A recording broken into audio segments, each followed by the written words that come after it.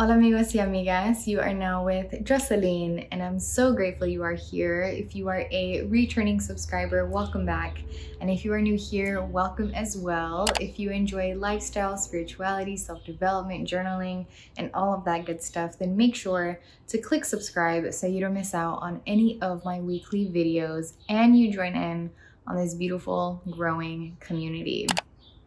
In my recent relationships Q&A video, I got asked something along the lines of what my personal approach to dating is.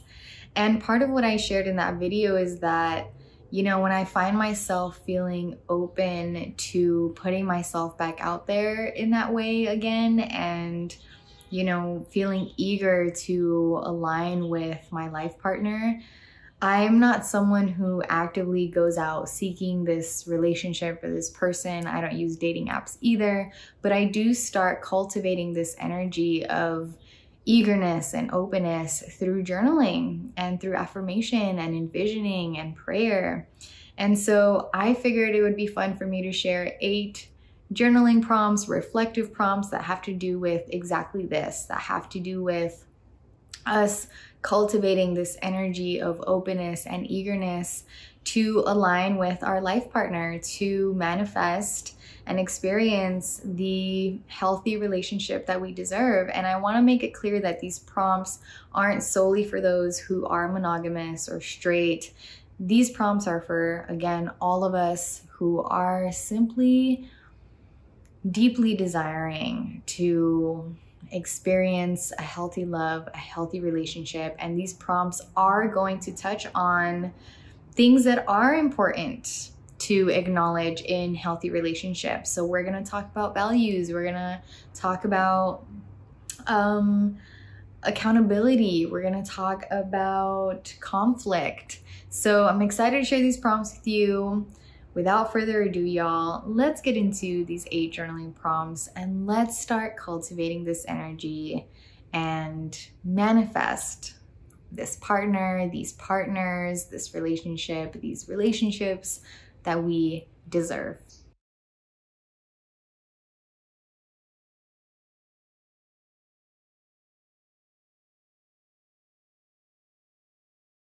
What lessons have I learned from past relationships and will keep in mind in this relationship? I know you know this, but it's so important that we aren't going from one relationship to another relationship to another relationship, repeating the same cycles, receiving the same lessons over and over and over again, realizing that we're actually just manifesting the same experience because we haven't actually learned the lesson being made known to us and integrating them and really keeping them in mind into our new experiences. So, what are some of these really integral, significant lessons you've learned from your past relationships that you want to make sure you honor in your new relationship so that you are manifesting a new cycle, a new experience, a new relationship that comes with new lessons? And these are lessons that you may have learned about yourself, that you've learned about what healthy relationships require. What are some of these lessons for you? Write them down, affirm to yourself that you have learned them, that you are integrating them, that you are honoring them, and that you will keep them in mind in the future. So let's get into writing down what lessons we've learned and we'll keep in mind in the relationship to come. What standards am I worthy of my partner meeting and am confident in meeting myself? I feel so many people question on whether having boundaries is good or is bad, or if their standards are too high, or if they need to lower them, or if perhaps they're being too strict on their standards. And I feel like we're asking the wrong questions. I feel like it's not about whether standards are good or bad, or if your standards are too high, or if you need to lower them, or if you're being too strict on them. It's all about can you yourself meet and reflect the standards that you are expecting from your partner, that you are upholding for your relationship. And so this prompt is not only acknowledging that yes, you are worthy of having standards and you are worthy of having a partner that meets these standards. But it's also acknowledging that it's important that we ourselves hold ourselves accountable in meeting those standards. So let's reflect on all of this, right? Let's affirm that yes, we're worthy of having these standards and writing these standards down and what it is that we desire in our partner. But also ask ourselves at the same time if we truly feel confident in meeting these standards. And if we don't feel fully confident in meeting the standards that we desire in our partner, are we actively working on ourselves to meet these standards, right? Because we're all a work in progress and that's okay. So, what are these standards for you? And personally, y'all, I do feel like having standards is important because we do reach a level in our self development to where we do deserve to have a partner that meets us where we're at, right? That has done the self work that we've done, that has, you know, developed themselves um, as much as as much as we've developed ourselves, or you know, can some some way and somehow just kind of meet us there, right? So we're not, you know, kind of holding ourselves back in any way, shape, or form, if that makes sense. But let's get into these standards and let's just hold ourselves accountable and making sure that we ourselves can meet these standards. What core values will my partner and I be rooted in? My friends' values and knowing what our values are is incredibly, incredibly important because the way in which we move in life is a reflection of our values. And we don't all share the same values, right? We all have different core values. And it is, again, incredibly important that when we are building a new relationship with someone, and especially if we are aspiring for this relationship to experience longevity and for this person, this partner to be our life partner, like we want to make sure that we share and we reflect the same core values. So, what are these core values for you? I really want you to get to know what your core values are so that you know what kind of core values you want your partnership to be rooted in and to be built upon, right? So, what are these core values for you that you would really, really love and you would really be excited to share with your life partner? Describe the perfect date with your partner. And I want you to be as detailed and specific as possible with this one. Really, with all journaling prompts, I'm always encouraging that you all are being as specific and detailed as possible.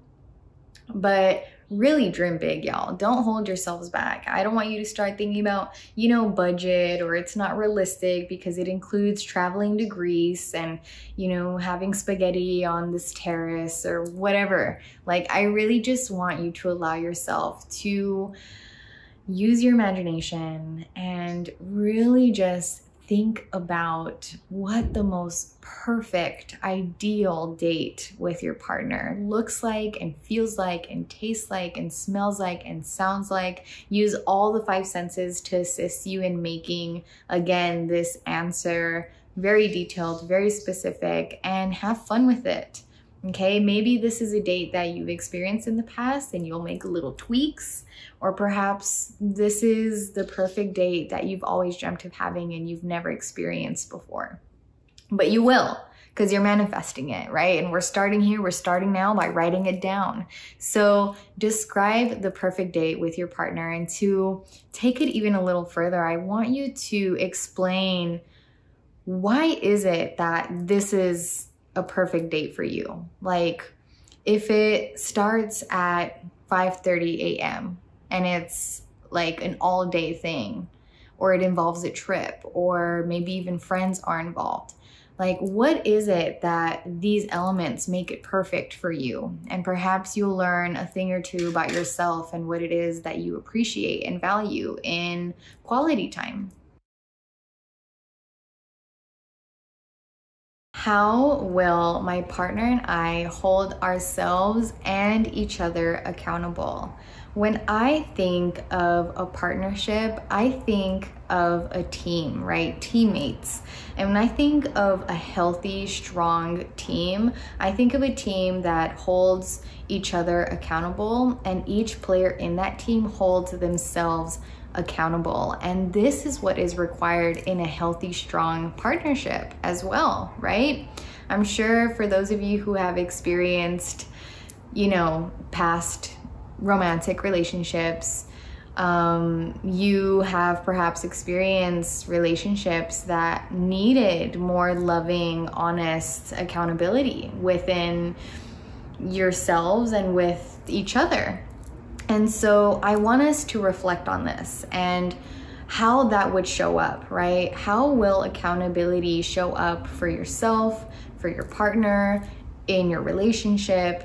And again, just like how we are holding ourselves accountable for, you know, meeting the standards that we seek in our partner, we're also holding ourselves accountable in our accountability, right? It's so, so important that we are looking in the mirror when it comes to our relationship and when it comes to life. So let's get into how you and your partner will hold yourselves accountable and will hold each other accountable in a healthy, loving, supportive way. How will we handle conflict and how will conflict affect us? The truth of the matter is, y'all, is that conflict in life is inevitable and inescapable. Even the healthiest of relationships experience conflict, and all conflict is going to affect you and your partner and your relationship in some way, shape, or form. But the control that we have, we may not be able to control whether or not we experience conflict, but we can control how we respond to conflict both individually and collectively. So, how will you and your partner handle conflict?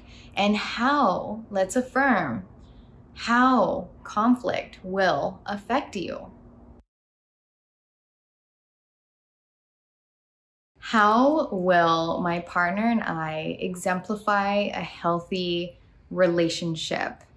I want you to get excited as you journal this prompt. I want you to really feel like this healthy partnership is manifesting, is your reality, is your dream come true. And I want you to really envision you and your partner or partners. Again, these prompts are for all of us seeking healthy love and healthy relationship, whether it's with one partner or more than one partner, whatever the case may be. I really want you to envision you and your partner having a healthy relationship, a healthy dynamic, and being that example of a healthy relationship, healthy dynamic for others. And what does that look like? How would you define that? How does it make you feel being in this kind of relationship, knowing that you are this beautiful example, this beautiful light for others, right? So, how does that show up for you? How do you define this? And again, I want you to get excited about it. I want you to really feel like this partnership is manifesting for you as you are writing this down. Describe a tradition you're excited to create and share with your partner. We are continuing to build our excitement off of the last prompt into this last prompt I'm sharing with you.